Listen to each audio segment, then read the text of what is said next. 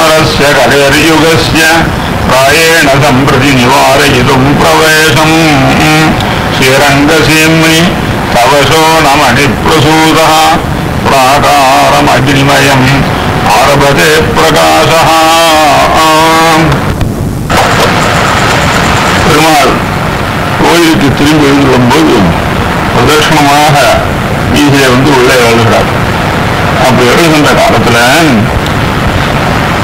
ஸ்ரீரங்கசியம் நீ தவசோ நம அணிப்பிரசூதகம் சுத்தி பெருமாள் பிரகாரம் பிரதர்ஷனமாக வர்றதுனால எம்பெருமான் பாதுகையில அந்த பத்மநாசத்திற்கு நிறைய அழைத்திருக்கிறதும் அதனுடைய பிரகாசம் வீதி முழுக்கும் நிறைய பரவி இருக்கு.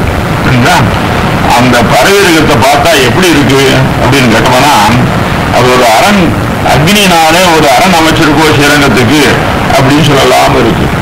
ராஜாக்கள்லாம் என்ன பண்ணுவா கோட்டை கட்டிட்டு மதுள் சோறுலாம் பணமாக வச்சிருப்பா அப்புறம் அதுக்கப்புறம் அகழ் வச்சிருப்பா நிறைய ஜலம் நிறைய தேங்கப்படியா வச்சு அது நிறைய முதலீடு விட்டுருப்பா எதிரிகள் அதை நீவி கரையேற முடியாது. கோட்டை வழியாக தான் வரணும். கோட்டை நிறைய படைகளை வச்சுக்கிட்டு அவனை அடிச்சு அகத்துவா இப்படி வரட்டான் அது மாதிரி ஸ்ரீரங்கத்துக்குள்ள புத்தகம் நுழையாதபடி இருக்கணும்னா என்ன பண்ணணும் அப்படின்னு கேட்டோம்னாக்க ஒரு அக்னியினார் ஒரு கோட்டை கட்டணும்னு தோணித்து பாதுகாப்பு வச்சு.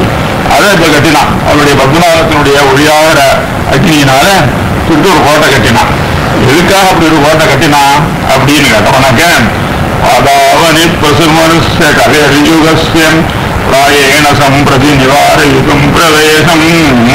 காலம் இது கலிகாரம் செஞ்சா பாரதம் முழுக்கணும் எங்க பார்த்தாலும் கலிகாலம் கலியானது எங்கேயும் பரவி இருக்கலாம். கலியினுடைய செ- செயல் கஷ்டங்கள் எல்லாம் நெடுக பரவி இருக்கும். அப்படி இருக்கிற காலத்துல அந்த கலியானது ஸ்ரீரங்கத்துக்குள்ள நுழையப்படாது அப்படின்னு எண்ணம் பாதுகாதேவிக்கு அதனால அதுக்கா என்ன ஒரு பெரிய கோட்டையை கட்டணும்னு பார்த்தா இது மாதிரி கோட்டை கட்டினா கலி உள்ள நுழையாது அப்படின்னாக்க அக்னிமயமான ஒரு கோட்டை கட்டுவோம் அப்படின்னு தோணித்தவளுக்கு அதனால அப்படி பிரதர்ஷனமாக வந்த போது அந்த சோனாமணி இருக்க பத்மநாக கற்க அதனுடைய ஒளியானது நடுவில் இது வீசிருக்கு பார்த்தா அது அக்னி போல இருக்கு. திகு எரிகின்ற அக்னி போல இருக்கு. ஆனா சுத்தி அக்னி எரிவது போல இருக்கு. என்ன அப்படின்னு கேட்டோம்னா அக்னினால ஒரு பிராகாரம். சுத்தி ஒரு பதில் சோறு மாதிரி அக்னியால ஒரு பாதுகாப்பு அரண் அதுக்கு அக்னி அரண் அமைச்சா பாதுகாப்பு அந்த அக்னியை தாண்டி கழிவுகளும் கலியாந்து உள்ளே நுழைய முடியாது. அப்படிங்கிறதுக்கு அது மாதிரி பண்ணாராம். ஆனா ஏன் இப்படி பண்ணா அப்படின்னு கேட்டோம்னாக்க முதல்ல சத்த பிராகார மத்தியன்னு சொல்லி ஏழு பிராகாரத்தினுடைய நடுவில் ரங்கநாதன் எழுந்திருக்கிறார் இந்த ஏழு பிராகாரங்களாலேயும் கலியுகம் கலியானது உள்ளே நுழையாதபடி தடுக்க முடியவில்லை போட்டிருக்கு. அதுக்காக பாதுகாதேவி தன்னுடைய ஒளியினால அக்னிமயமான ஒரு அரணை இது அரணை அமைத்து இப்ப கலியுகம் உள்ள நுழையாதபடி பண்ணுகிறாள் என்ற கருத்து. பதாவனை பிரசுமதஸ்ய கலேயுகஸ்யம் பிராயேண சம்பிரதி கலியுகம் பிரவேசம் எங்கும் பரவிய கலியுகத்தை ஸ்ரீரங்கத்துக்குள்ள இப்படி தடுப்பதற்காக ஸ்ரீரங்க சீமுனி ஸ்ரீரங்கத்தினுடைய எல்லையில சுற்று பிரகாரம் தபசோ பிரசூத பிராகாரம் அக்னிமயம் ஆரம்பத்தே பிரகாசம் உன்னுடைய அந்த பத்மராஜத்தில் கூடிய பிரகாசமானது என்ன பண்றது இப்படி அக்னிமயமான ஒரு பிராகாரத்தை சுற்றி அமைச்சிருக்கு. அதனால கலியானது சீரகத்துக்குள்ள நுழைய முடியாதபடி அது தடுக்கிறது. என்று சாதிக்கிறார் என்று சொல்லுவார்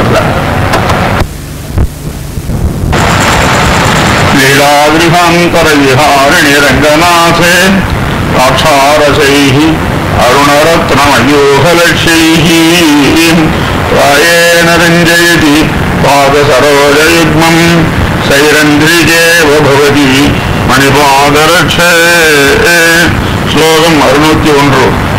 லீலாகிருகாந்தர விஹார நிரங்கநாசே சாட்சாரசைஹி அருணரத்னமயூகலட்சைஹி ராயேண ரஞ்சைதி பாதசரோஜயுக்மம் சைரந்திரிகே பவதி மணிபாதலட்சே இந்த ஸ்லோகத்தில் பாதுகாதேவியை சைரந்திரிகான்னு வர்ணிக்கிறார் சைரந்திரிகா அப்படின்னு சொன்னா ராஜாங்கங்கள்ல அரண்மனையில ராணிகளுக்கு அலங்காரம் பண்ணி விடுறவாளுக்கு சைரந்திரிகான்னு பேரு. அதே மாதிரி இங்க பெருமாளுக்கு அலங்காரம் பண்ணி விடுறான் பாதுகா தேவி. அதனால் இவளுக்கு சைரந்திரிகாணி சைரந்திரிகையாக அலங்காரம் பண்ணுகின்றவர்களாக நீ இருக்க அந்த வேலையில இருக்க போட்டிருக்கு அப்படிங்கிறார் சுவாமி தேசியம் எப்ப அலங்காரம் பண்றாய்வா அப்படின்னு கேட்டவனாக்க நீலாகிரகாந்தர விஹாரிணி ரங்கநாசே ரங்கநாதன் அப்படி ஓய்வெடுப்பதற்காக என்ன பண்றான் அந்த படத்துக்கு வரான். அந்த படத்துலயும் ஒரு பக்கத்துல லீலாகிரகம்னு இருக்கு. லீலாகிரகம்னா விளையாடும் இடம். அதுல ஒய்யாயிரமா அடையிறது அடையாடுறது விளையாடுறது எல்லா காரியங்களையும் அதுல பண்ணுவோம் ரங்கநாதன். புரிஞ்சுதா? அந்த லீலா லீலாகிரகாந்தர விஹாரணி லீலாகிரகத்தினுடைய நடுவுல என்ன? இந்த எம்பெருமான் நான் நட போட்டு அழகாக நடந்து வெளியாக நடக்கிற காலத்துல ரங்கநாதன் ராட்சார செய்கி அருணரத்னம் அயோகலட்சேகி அப்போ ரங்கநாதன் அங்கே போய் பிளப்பாடுவதற்காக ஒரு ஆசனத்தில் அமருகிறான். அப்போ என்ன பண்றா பாதுகா தேவி அப்படின்னு கேட்டோம்னாக்க செம்பஞ்சி குழம்பு இருக்கும் இல்லையா? அது சிவப்பாக இருக்கும். அதை எடுத்து மருதாணி இட்டு விடுவது போல மருதாணின்னா மருதாணி இருக்கணும். அப்புறம் காலம்பரம் பிச்சு பார்த்தா சேப்பா இருக்கும். செம்மஞ்சி குழம்பு இடைச்சே சேப்பா இருக்கும். அதனால செம்மஞ்சி குழம்புனால திருவடிக்கெல்லாம் அழகு பண்ண நீ அப்படின்னார். செம்மஞ்சி குழம்பு எங்க வந்தது அப்படின்னு கேட்டாக்க பாதுகாதேவிட்டே கையிலேயே இருக்கு. பாதுகாதேவிட்ட அந்த சிவப்பு ரத்தனங்கள் இழைக்கப்பட்டிருக்கிறவா பத்திராக கற்க அதனுடைய ஒளி இருக்க அது செம்பஞ்சு குழம்பு போல சிவப்பாக இருக்கும். ஆக அதனுடைய ஒளியார செம்பஞ்சு குழம்புனான எம்பெருமானுடைய திருடி வாரத்தை நீ பூசி அழகுபடுத்துகிறாய் ஏன்னா பெருமாளுக்கு அண்ணா அழகு பண்ணி விட்டாக்க பாட்டிக்கு உகப்பாக இருக்கும். அதனால பாட்டிக்கு உகப்பாக இருப்பதற்காக பெருமாளுக்கு அழகு பண்ணி விடுறாய் நீ நெஞ்சீரி பாத சரோஜ யுக்மம். ஆக பெருமாளுடைய திரு த- தாமரை போன்ற அழகான திருவடிகளை நீ அழகுபடுத்துகிறாய். எப்படி? சைரந்திரியே பகவதி மணிபாத ரட்சேன் சைரந்திரிக்காக ஒரு அலங்கார மன்னன் தாதியாக இருந்து எம்பெருமான் அந்த பொருத்துக்கு வந்து விளையாடு மடத்துல அழகாக அமர்ந்த காலத்துல நீ செம்மஞ்சி குழம்பை திருவள்ளிலே தடவி விட்டு அவருடைய திருவடியான பலவான் அழகாக இருக்கும்படியாக நீ விடுகிறாய் ஆக நீ ஒரு சைரந்திரிகா அதாவது பெருமாளுக்கு அழகு பண்ணக்கூடிய தாதியாக நீ இருக்கிறாய் என்று இந்த ஸ்லோகத்தில் சுவாமி தேசியம் வர்ணிக்கிறபடி. ரங்கேஷிது निहरतो मणिपादरक्षे पृच्छान्तरेषु मनसः परिकीर्यमाणाः त्वद्पद्मरागकिरण क्षुरणाद्भजन्ते सन्ध्यातपान्तरित तारकपञ्चलक्ष्मीम् श्लोकम् अरुणोत्य रेण्ड् रङ्गेशितुः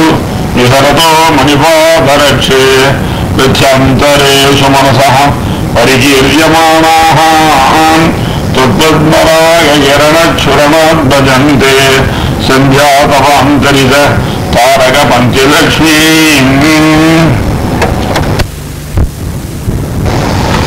உற்சவம். ரங்கநாதன் வெளியில ஏடுறான் சாயங்கால வேலை அப்போ வெளியில ஏழின உடனே என்ன பண்றான்? பிரச்சாந்தரேசு மனசா பரிகீரியமானாக. பக்தர்கள்லாம் என்ன பண்றா? கூட கூடிய புஷ்பத்தை மல்லிகைப்பூ காலத்தில் நிறைய மல்லிகை புஷ்பம் நல்லா கிடைக்கும். அந்த புஷ்பத்தை வாங்கி பெருமாளுக்கு உபச்சாரமாக நிறைய வீசுறா ரோட்லையும் தொழிற்கன்யான் மேலையும் புஷ்பத்தை வீசுறா. அப்பா ரோடு முழுக்க எப்படி இருக்கு? ஒரே மல்லிகை புஷ்பம் விரிஞ்சு கிடக்கு. அப்படி விரிஞ்சிருக்கிற புஷ்பத்தின் பேர்ல தொற்பத்மராக கிரண சுரணாத் பஜந்தே. பாதுகாதேவி என்னுடைய இதுல நிறைய பத்மராகத்திற்கு அழைக்கப்பட்டிருக்கிறதோ அந்த பத்மராகத்தினுடைய ஒளி செம்மையான ஒளி. அந்த ஒளி நம்ம நிறைய வீசுறது வெளியில வீசிட்ட தெருவிலையும் தொழிலையும் பெருமா தொழில் வாரத்திலையும் வீசின மல்லிகை புஷ்பம் இருக்கு அதன் பேர்ல இந்த ஒளியை வீசுறது. அந்த ஒளியை வீசினா அது பார்க்கறதுக்கு எப்படி இருக்குங்கட்டா ரொம்ப அழகா இருக்குன்னார் அது இயற்கையான ஒரு உண்மையா எடுத்து சாதிக்கிறார் சாயங்கால வேளையில சூரியன் அஸ்தமிப்பான். அஸ்தமிக்க சூரியன் எப்படி இருக்கும்? சக்கச்சேன்னு சவந்து போடும். சூரியன் சவுண்ட் இருக்கிற காலத்துல அப்படியே உசரக்க வானத்தை பார்த்தோமான ஆகாசத்தை பார்த்தோமானாக்க என்ன அங்கேயும் அந்த சிவப்பு ஒளி பரவி இருக்கும். சாயங்கால வேலையா நட்சத்திரங்கள்லாம் படம் உதயமாக தொடங்கும். அதெல்லாம் கொஞ்சம் சில பெரிய நட்சத்திரங்களா இருக்கிறதெல்லாம் வெளிச்சம் உதயமாகும். அப்படி உதயமாகிற நட்சத்திரங்கள் இருக்க அந்த நட்சத்திரங்கள் மேல இந்த சூரியனும் சூரியன் சாயங்கால சந்திரனுடைய சூரியன் இருக்க முடியாத செம்மை இருக்க சிவப்பு நிறம் அந்த நிறம் நடுக வீசுறது ஆகாசத்துல. வானம் செவ்வானம். அந்த செவ்வானத்துல இந்த ஒளி வீசுறதுனால அங்க இருக்கிற நட்சத்திரங்கள்லாம் இருக்கு. இந்த சிவப்பு ஒளினால கொஞ்சம் வந்துடுறது ஆக சிவப்பொழி அது நட்சத்திரங்கள் நல்ல வன்மையான ஒளி. அது மேல அந்த சிவப்பொழி வீசுறது. சிவப்பொழி வீசினா அதை பார்த்தாக்க செவ்வானமானது ரொம்ப அழகாக இருக்கும். அது எப்படி அழகாக இருக்குமோ அதே மாதிரி இங்கே ரங்கநாதன் மேல வீசப்படுகின்ற புஷ்பங்கள் அது பக்கத்துல தெருவில் நடுவே கிடக்கூடிய புஷ்பங்கள் இருக்கேன் அது பேர்ல பாதுலா தேவியினுடைய கருத்தினுடைய செம்மையானது சிவப்பு நிறமானது பரபரவு. பாருங்கன்னா எப்படி இருக்கு? நட்சத்திரங்களோட கூட்டின செவ்வானம் எப்படி அழகாக ஜொலிக்கிறதோ அதே மாதிரி வீசி பெருமாள் திருவிழாரம் எல்லாம் அது மாதிரி அழகாக இருக்கு. எந்த இந்த ஸ்லோகத்துல சுவாமி தேசியன் ஒரு ஊமையை கூறி வர்ணித்தபடி. ரங்காதிராய பதரட்சணி பிரதஸ்துவாம் கங்காதரங்கல்மலே கிரிசஸ்ய மௌலௌ వర్ధయంతిమహో తవ పద్మవ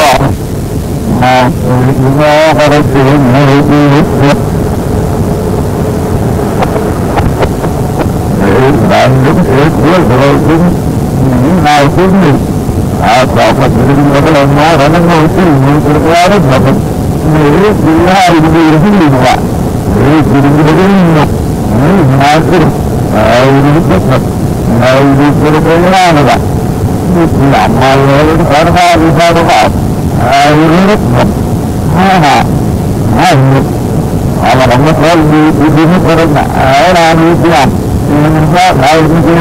அல்லவா அதுதான் அக்னி ஜுவாலை மாதிரி. ஆக பாதுகா தேவி நீ அக்னி.